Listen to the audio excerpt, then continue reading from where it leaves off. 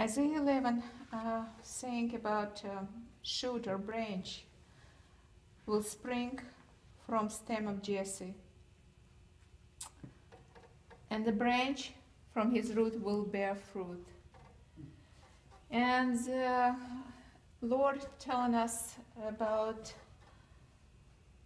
this, the spirit of the of the Hashem will be upon him. Spirit of wisdom, understanding, spirit of counsel and strength, spirit of knowledge, and the fear of the Lord. And you see, the fear of the Lord is emphasized. It's um, it's a gift which we all have to ask uh, to have, because without spirit of the Lord, we can be deceived. And I believe this is what's happening right now, and um, with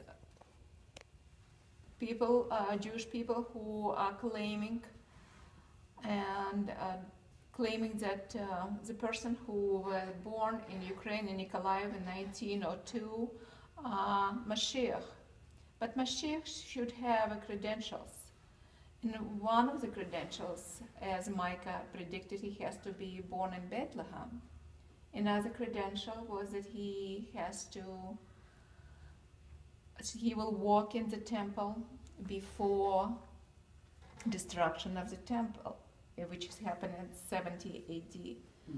One more credential where Zechariah in 6, 11, 12 saying that uh, prophetically that the name of the Mashiach will be Joshua or uh, Yehoshua and uh, Yehoshua, whatever, you pronounce. And um, but uh, that's the name of future Messiah.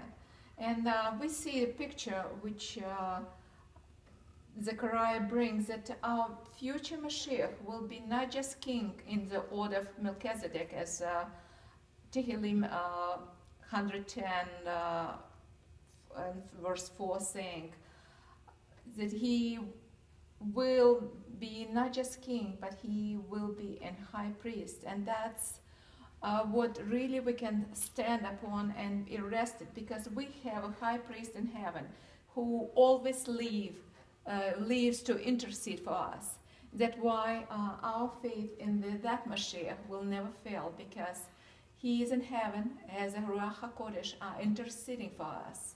And um, this is where how uh, Emunah, what how Emunah based on upon upon that Mashiach, and we asking uh, for the mercy on the people who are led, misled, and following the Mashiach who was born in Ukraine, Kiev, and Nikolaev in 1902, and we're asking for your mercy and opening eyes of those people and their hearts not to be hardened and be receptive to the truth. In the name of Yeshua, I pray.